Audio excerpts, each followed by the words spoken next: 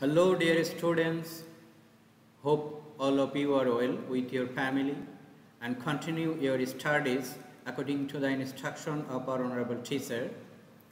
Welcome back to our English second part online class. This is Mominul Islam, assistant teacher, Square High School and College.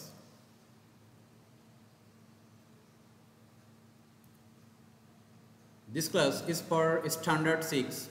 Our today's topic is changing voice on imperative sentence and others. You know, this is the second class of this topic. Let's start our today's class.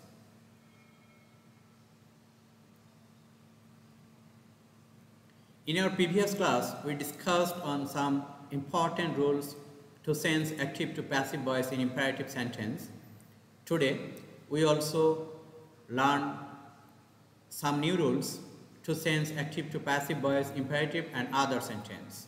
Let's start. Rule 5. If the sentence start with the words please or kindly, then you have to use the following structure to sense into passive voice. Let's see the structure. You are requested to or not to. That's mean if the sentence is in negative sentence, you have to use you are requested not to plus base form of verb plus rest part of sentence. Let's see the example, then you will be more clear.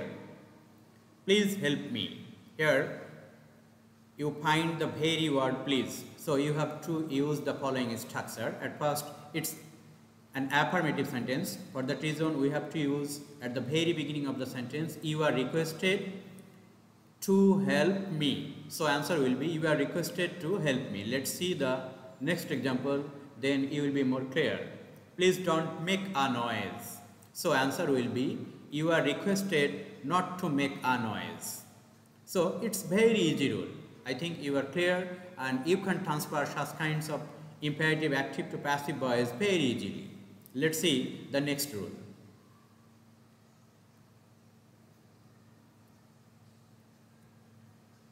Rule 6.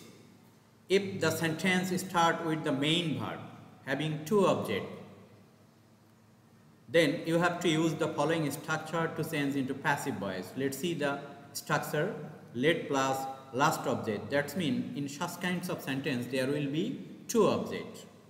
Let plus last object plus be plus past participle form of verb plus for oblique 2 plus first object or personal object. Let's see the example, then it will be more clear. Buy me a book. See, in this sentence, there are two objects, me and a book. So, let's see what will be the answer according to the structure of the passive voice.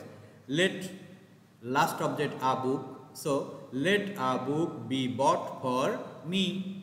Let's see the next example, then you will be more clear. Give me a pen. So, answer will be let a pen be given to me. I hope all of you are clear and you can also transfer such kinds of sentence into passive voice very easily.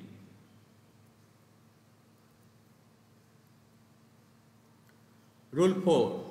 If the sentence, sorry, if there is reflexive object, myself, ourself, yourself, themselves, himself, herself, these are called reflexive object. If you find this kind of object using in the sentence you, and you are asked to change into passive voice, then you have to use the following structure.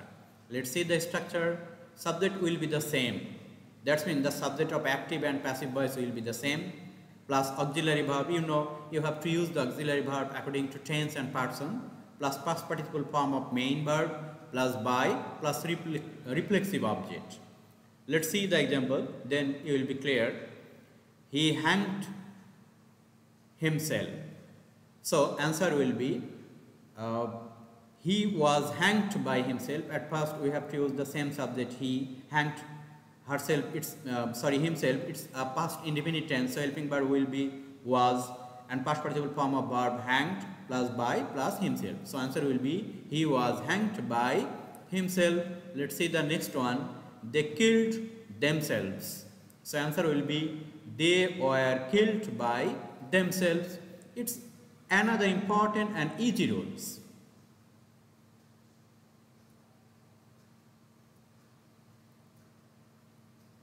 Quasi-passive voice. At first you have to know what is quasi-passive voice. A quasi-passive voice is active in form and passive in sense. It may be sensed in the passive by following structure. That means according to meaning it's a passive sentence and according to the structure it, it will be active voice. So in such kind of sentence, sentence you can sense into passive voice by using the following structure. Let's see the structure. Subject remains same, helping verb plus complement or adjective plus when plus it oblique they plus helping verb plus past participle form of main verb. Let's see the example. Honey tastes sweets. So answer will be honey is sweet when it is tasted. Let's see the next example. Then will be more clear. The sofa feels soft. So answer will be the sofa is soft when it is felt. So quasi-passive voice is also very important for you. At the same time, it is very easy rules. I hope all of you are clear and you can transfer passive voice in such kinds of sentence very easily.